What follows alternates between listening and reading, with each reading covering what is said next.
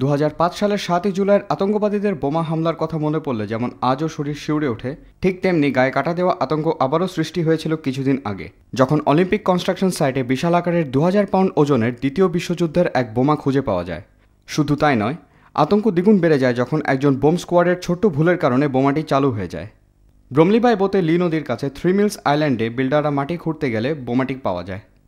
বোমাটি বেশ শক্তিশালী। বিস্ফোরিত হলে আনুমানিক এক মাইলের রেডিয়াসের মধ্যে সব কিছুই ধ্বংস হয়ে যেত। বিস্ময়কর ব্যাপারটি হলো, বোমাটির মাত্র পঞ্চাশ গজের দূরত্বেই ছিল লন্ডনের মেন সিওয়েজ পাম্প। এবং আরও বিস্ময়কর ব্যাপার হলো যে, বোমাটি গত আটষট্টি বছর ধরে মাটি চাপা ছিল যা যে কোনো মুহূর্তে আতঙ্কের কালমেঘ বয়ে আনত লন্ডনে।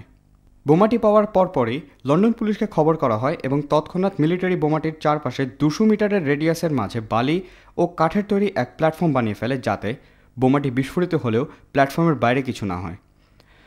উনিশশো চল্লিশ সালের তৈরি বোমাটিকে কাবু করতে বেশ হয়রান হতে হয় রয়্যাল বোম স্কোয়াডকে, ব্যক্ত করেন এক কর্মী।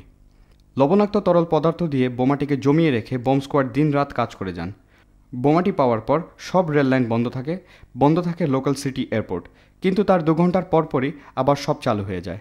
সবশেষে গত শুক্রবার ছয় জুন রয়্যাল বোম স্কোয়াড বোমাটিকে নিষ্ক্রিয় করতে সক্ষম হয়, তবে এক ছোট্ট বিস্ফোরণের মধ্য দিয়ে। পূর্ব লন্ডনের সুগার হাউস লেনে জটিল নিয়ন্ত্রণের মধ্যে মাত্র পাঁচ শতাংশের শক্তিতে বোমাটি বিস্ফোরিত হয়। গত আটষট্টি বছর মাটি চাপা থাকায় বোমাটির শক্তি অনেক কমে গিয়েছিল, যার কারণে লন্ডনকে আর কোনো ভয়াবহ দিন দেখতে হয়নি।